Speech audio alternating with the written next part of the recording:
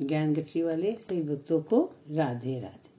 आज की जानकारी में मैं आपको स्वास्थ्य संबंधी कुछ उपाय बता रही हूँ, जिसे करके आप लाभ उठा सकते हैं।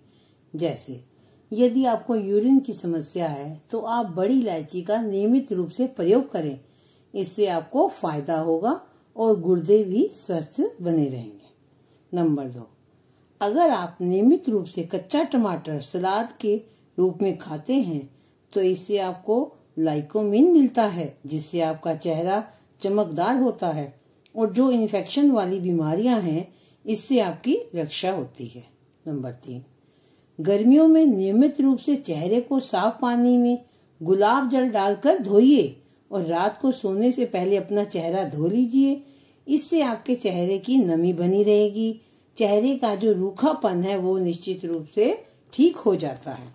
नंबर चार जब भी आप भोजन करते हैं, पूरा पेट भर कर के भोजन ना करिएगा, थोड़ा सा भूख से कम खाइएगा।